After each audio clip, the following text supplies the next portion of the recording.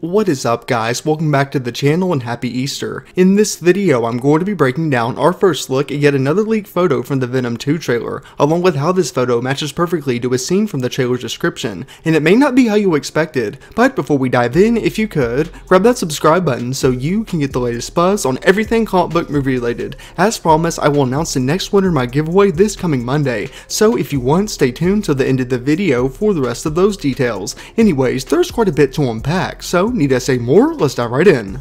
For context, we've been hearing a ton of news lately about the first Venom 2 trailer. In fact, just a couple days ago, we got a leaked photo from the trailer showing Cletus in his red sports car, in which I also explained how this photo matched perfectly to a scene from the trailer's description. But today, we have yet another photo that's also made its way online, and it just so happens to line up with another scene from the trailer. Now, if we look closely, we see a church in the top frame along with Venom in the second, and if we look even closer, it does appear that we can maybe see Carnage at the very bottom, therefore giving us our first official look at the symbiote. Now, in regards to this photo matching to his scene, the description mentions how Brock transforms into Venom in mid-air, and then climbs to the top of a church in order to locate Carnage, and judging from this scene, it does appear that this photo could be authentic, along with the first leaked image of Cletus in his red sports car. It should also be noted that Venom 2 is still on track for an October 2nd, 2020 release, therefore we should be getting the first trailer in the very near future. Having said that, what are your thoughts on this reveal, and are you excited for our first look at Carnage in the movie? Sound off with your thoughts down below. Now let's get to the giveaway details. I will be giving away the first exclusive Superhero Buzz t-shirt that is now available in all sizes,